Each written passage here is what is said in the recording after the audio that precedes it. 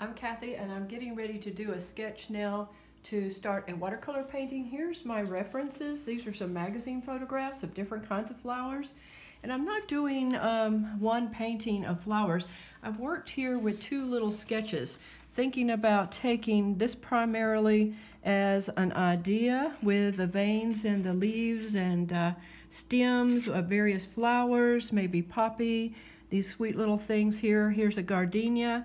And here I've looked at the rose and possibly this iris. So there are lots of uh, flowers here to reference. So I'm just going to begin, and I'm really not going to do either one of these compositions. It just got me in the mood. Now what I'm going to do is start right here on my paper with a flower. Notice I don't start in the middle of my page. I usually work off to one side so that I can get the flower shape um, looking in different directions. I'm studying here. I'm right here with this little petal, if you can see what I'm doing. And I'm drawing to make this particular flower as realistic as I can. And I'm going to give it some stem. I'm not going to draw all my stems right now because, for example, right here I might want to superimpose a different flower. I might, for example, want to pull this flower in. And so I might be doing it and it overlaps that stem. So here's how I begin a composition of flowers and leaves and petals.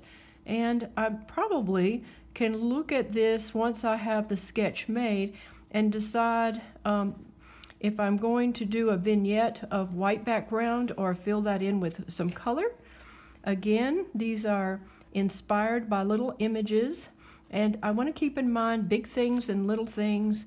Uh, also that since this is a vertical design, there are probably going to be multiple flowers, multiple leaves coming throughout. And so even with this little guy right here that I started with, I might continue and build some more shapes very similar to the one, this is more of a side view of that particular flower and then some are going to be a bit out of focus.